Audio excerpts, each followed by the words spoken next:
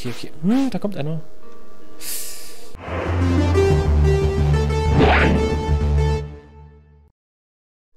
Ja, halli, hallo, liebe Gefängnisfreunde, ich bin Satenchi und wir spielen The Escapists. Und wenn ihr euch fragt, warum ich hier zufällig auf dem Essenstisch sitze und frühstücke, dann sei gesagt, schaut euch die letzte Folge an. So einfach ist das. so, wir suchen jetzt Utensilien zusammen, denn wir brauchen noch ein Schneidewerkzeug, was eigentlich dazu führt, dass wir eigentlich bloß noch eine Pfeile und ein Klebeband brauchen. Denn ein Klebeband habe ich jetzt nicht mehr. Wusste ja nicht, dass ich das nochmal brauchen werde. Und wir bräuchten eventuell, ähm, ja, vielleicht einen Schraubenzieher oder so. Das wäre wär nicht schlecht, mal sowas zu kriegen. Der verkauft das, äh, verkauft, verkauft das nicht. Was ist mit dem hier? Verkaufst du nicht? Äh, was ist günstiger? Die sind gleich teuer. Aber ich glaube, das Ding ist einfach cooler, nehme ich das. Nein, nein, ich kann es mir nicht leisten. Ich brauche das doch. Was habe ich noch? Finden Buch, Sleeping, Bottle of Medizin. Shit, ich brauche Geld. Oh, it's, it's time to work. Dann können wir Geld machen. Schnell wegbringen. Die Pfeile. Oh, da ist ja noch der Dummy. Der Dummy. Oh, oh Gott. Okay. Dann schnell Geld machen und, ähm, aber ich glaube, ich werde das am Ende des Tages bezahlt, oder? Ich bin mir nicht so sicher. Ich brauche auf jeden Fall Geld. Ja. So gilt es natürlich auch.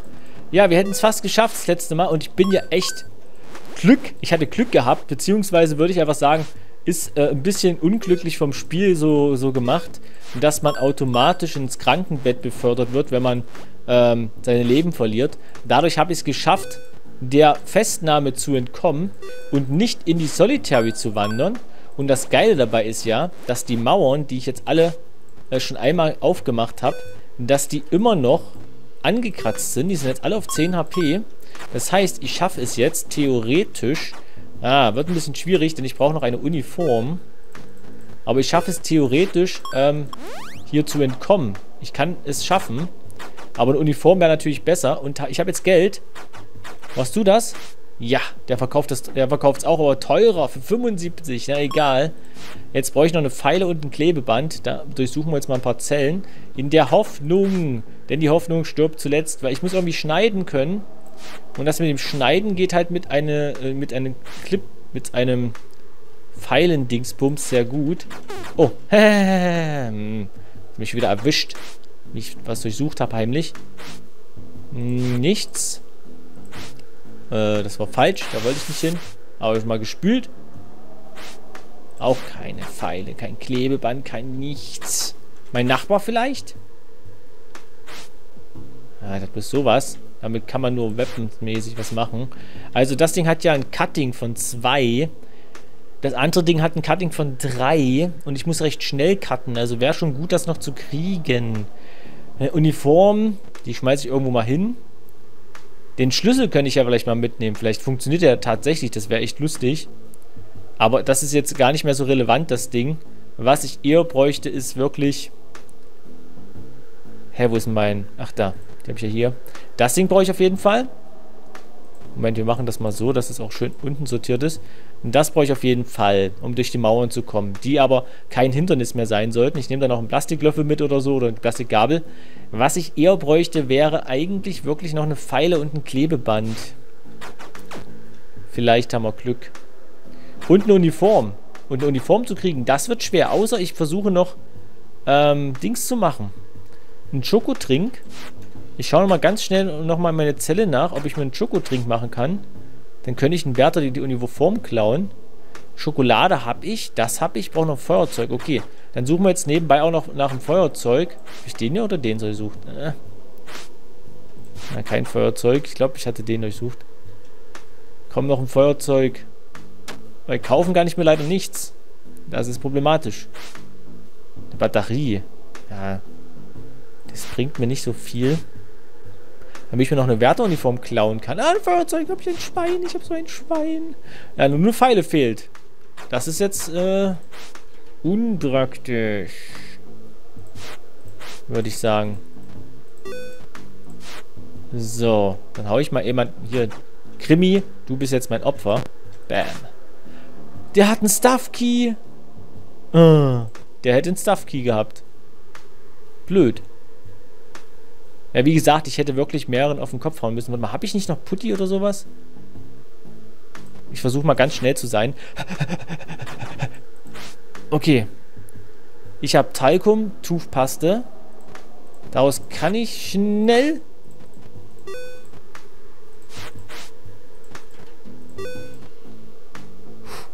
Schnell zurück, schnell zurück, schnell zurück.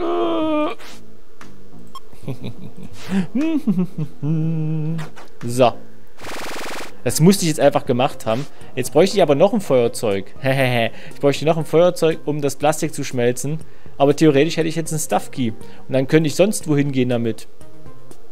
Dann könnte ich einfach die Generator einfach aufmachen. Aber eigentlich, Leute, brauche ich es nicht mehr. Das ist ganz klar. Das brauche ich eigentlich gar nicht mehr. Was ich aber brauche, wäre schneiden. Ich weiß nicht, ob der da durchkommt. Wenn der genauso viel schneidet wie... Ne, der macht ja bis 1. Der hat also 8. Der macht also 8 Cutting. Das wird nicht reichen, 8 Cutting. Ich bräuchte noch irgendwas. Ich könnte es mit einem Plastiklöffel noch versuchen, ähm, den Rest des Zaunes aufzu... Oh, der hat mich noch, noch erkannt. Ah, okay. Ich könnte wirklich versuchen, noch mit einem Plastiklöffel irgendwie noch zu schneiden. Oder ein gar ein Plastiklöffel. Mann, mit einem Löffel schneiden. Ich bin total verwirrt damit hier, mit den Plastikdingern. Ich nehme einfach mal ein paar mit. Vielleicht ein bisschen übertrieben viel. Aber ich weiß gerade nicht genau, wie viel ich mitnehmen muss nachher. Okay. Nein! Komm. Hier, ich arbeite. Geht das jetzt runter? Ja. Ähm, ja, das wird interessant. Puh. Weil das hier sollte schon noch runtergehen. Das wäre... Oh, weh, die durchsuchen jetzt meine Zelle am Abend. Oh, das wäre richtig kacke. Weil dann kann ich nicht ausbrechen. Jetzt habe ich Freizeit mache ich halt das, was ich halt freizeittechnisch so mache. Ich gehe hier rein und gucke einfach mal. Also passt auf, was ich mitnehmen werde. Ich mache mal kurz meine ganze Ausrüstung. Das nehme ich mit. Das Ding ziehe ich an. Habe also noch einen Slot frei. Ja, ich habe einen Plastik Utility Key. Ich weiß nicht, ob ich den brauche. Kann aber sein. Was ich brauche auf jeden Fall ist ähm, das hier. Das für die Wand. Dann habe ich eigentlich wirklich noch einen Haufen Platz. Und weil ich Angst habe, dass ich nicht durch den Zaun komme, nehme ich wahrscheinlich das hier mit. Aber ich habe echt einen Stuff-Key-Mold, ne?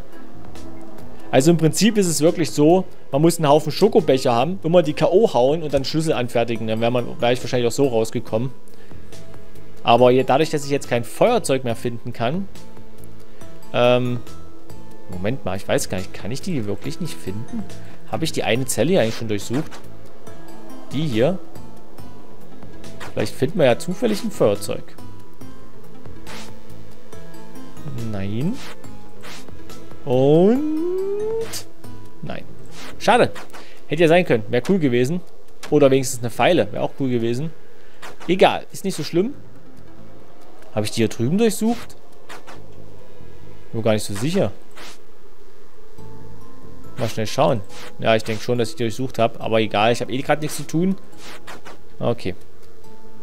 Na gut, dann versuchen wir es trotzdem. Also den Schlüssel könnte ich mitnehmen, weil so viel Löffel bräuchte, also Gabeln brauche ich nicht. Was ich nehme ist, ich brauche bloß das, das und das. Mehr nehme ich ja im Prinzip nicht mit. Ja. Sehr schön. Gut, dann äh, warten wir jetzt eigentlich bloß noch ab.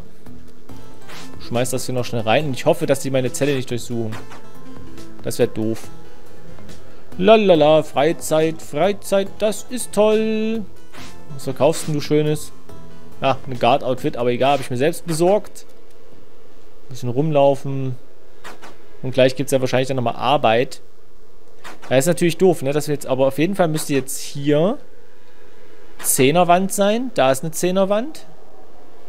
Und bei mir im Dings ah, da kann ich doch schon mal Vorarbeit leisten. Das habe ich gar nicht dran gedacht. Ich kann schon mal Vorarbeit leisten. So, dann sind jetzt hier sechs, glaube ich. Und jetzt sind zwei. Da unten kann ich eigentlich auch Vorarbeit leisten. dann ist nämlich nachher Shower Time. Und mit dem Shower Time könnte ich nämlich dann...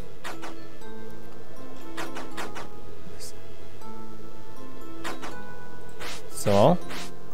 Weil dann brauche ich da ein bisschen weniger Kraft. Guck mal, wie viel Kraft ich jetzt schon gebraucht habe für die Dinger. Jetzt hier noch am besten. Ich weiß nicht, ob der mich sieht. Ich hoffe nicht. Nö, der sieht mich nicht. Also guckt er gerade weg. Okay. Gut, dann äh, haben wir hier alles vorbereitet.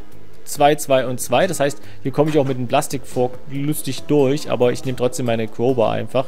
Dann gehe ich da durch, da, da, da, da, da. Da komme ich dann von hinten rein und dann äh, säbel ich weiter. Jetzt noch ein bisschen erholen. Ist ja auch nicht so schwierig. Bisschen am Essen rum, rumessen so. Guck mal, Officer ist jetzt ganz dicht neben dir. Officer Kayano und Cendric und wie sie alle heißen hier. Olegna kommt noch ein. Ah, das war so, so schade in der letzten Folge. Oh, ich hätte es gerne geschafft. Ich hätte es gerne geschafft. Das ist ja... Ich sitze ja gerade... Äh, ich habe ja direkt jetzt danach noch aufgenommen jetzt. Ah, es ärgert mich noch ein bisschen. Ich hätte es echt schaffen können. Ich habe die Türen komplett vergessen.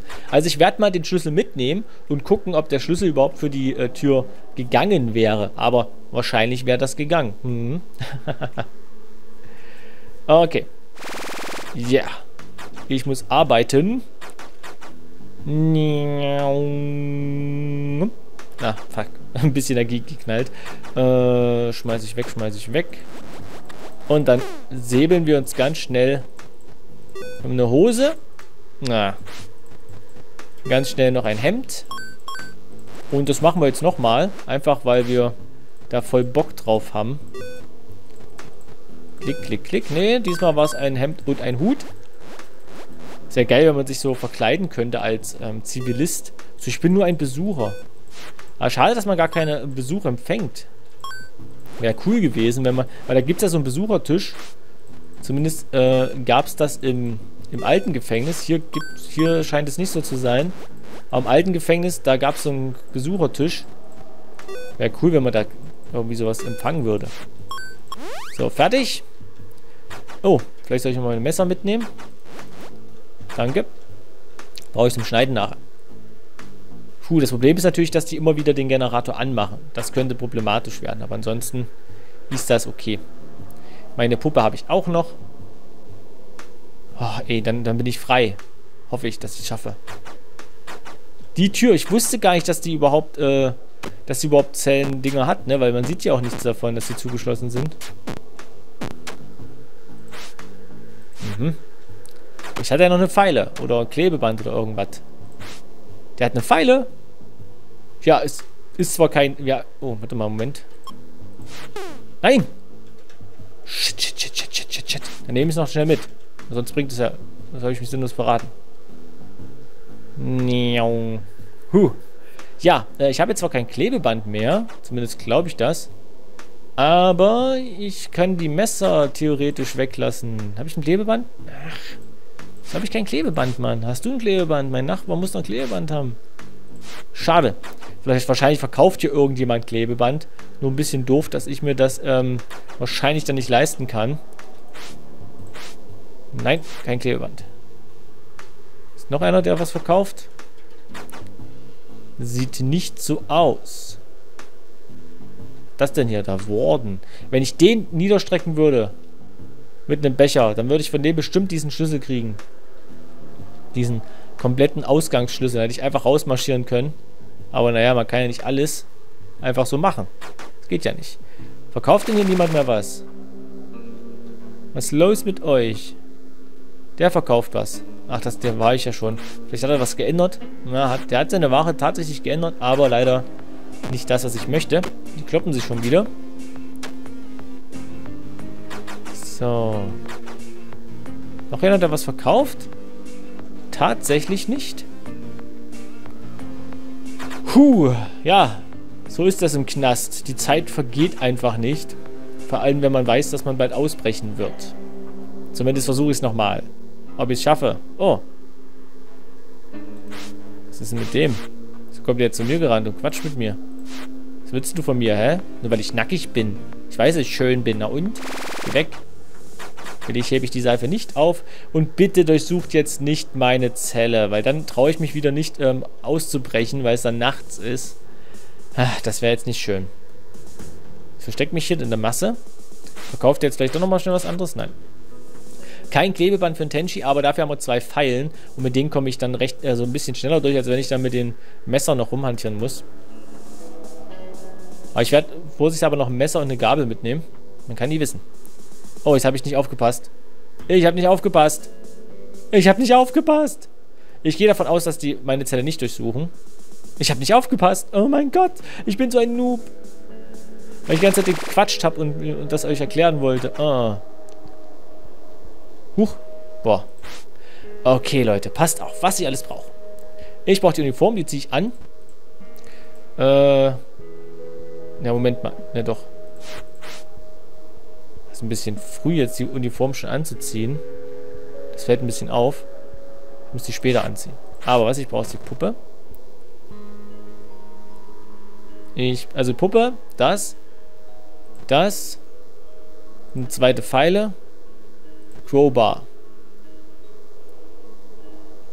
So, die habe ich die Uniform. Ah, da, da, da. Äh. Ach komm, ich leg den Dummy da schon mal rein. So, kann ich jetzt meinen Plastikfork nehmen. Mach dann da auf. So, die 1 sollte dann frei werden eigentlich. Das heißt, ich werde mich doch schon umziehen. Oh Mann. Oh Mann. Vor allem, das ist jetzt alles so böse, wenn die jetzt hier reinkommen würden. Hätte ich echt die Arschkarte so. Okay. Okay, okay. Nein. Los geht's, los geht's, los geht's. Komm rein da. Müssen nur noch runterkommen. Ich wollte eigentlich den Schlüssel mitnehmen, aber egal. Das ist eine Wache. Das ist auch eine. Okay. Okay, okay. Hm, da kommt einer. Hm, hm, okay, okay, okay. Da kommt schon wieder einer. Egal. Schnell rein. Oh. Ich bin jetzt drin. Jetzt kommt die Crowbar. Okay. Kann ich die jetzt noch umrücken irgendwie? Nee. Okay.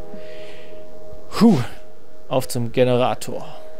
Von hinten rein. Oh, ich wollte doch noch ein Messer mitnehmen. Ich habe kein Messer mitgenommen. Nein! Ich bin ein Idiot. Ich bin ein Idiot. Damn it. Oh. Weil jetzt werden die die ganz schnell wieder anmachen. Da werde ich mit euch.